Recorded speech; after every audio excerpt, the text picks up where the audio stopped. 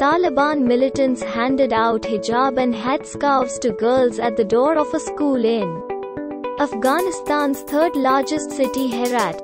Associated Press reported, the militants asked the girls to put them on.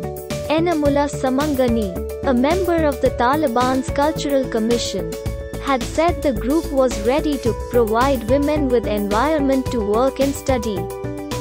Subscribe to the channel for more news.